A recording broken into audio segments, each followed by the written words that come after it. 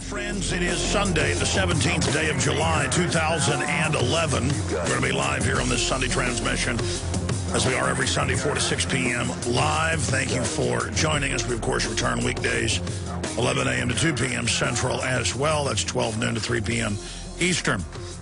I just returned from Los Angeles, and uh, it wasn't really a secret why I went out there, but I hadn't really told anybody that I was invited to Jesse Ventura's uh, private 60th birthday that also coincides with his good friend Harry Dean Stanton, the legendary actor's 85th birthday.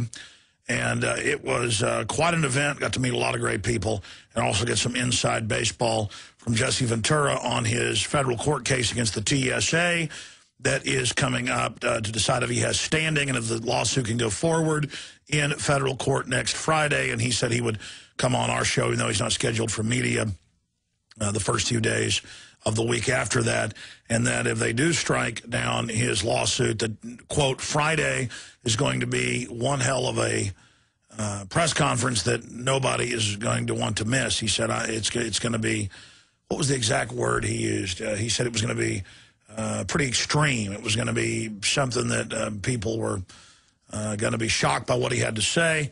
And he pretty much told me what he was going to say, and I said, well, can I put that on record? And he said, yeah, but I'm not doing any interviews right now at my 60th birthday party. Because I was like, well, that's good stuff. Let me pull the iPhone out and get one. He's like, no, Alex. Plus, the music's too loud.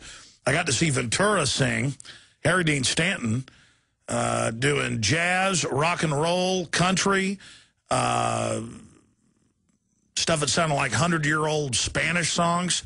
Uh, that guy's quite the musician. I know he's played with uh, Bob Dylan on his tour and stuff, but uh, really blown away by uh, getting to go to that and meet all those great people. It was also wild to pull up at the private party uh, and to have TMZ out there, and they run up and know who I am and are asking me questions. It was pretty ridiculous. Uh, and to meet a lot of famous actors and to know that they were listeners of the show as well. I tell you, we have got to do uh, not a, not a good job. We already do a good job, but we've got to do an even better job with the amount of people that are watching and listening to this show. Uh, it just was dumbfounding. Uh, Rob Dew went me to ride shotgun and uh, watch my back and do some other uh, reports when we went down to RT to their L.A. office and did a 16-minute piece with them. Uh, and we also went out to the Rand Corporation, filed some reports. We killed multiple birds with one stone.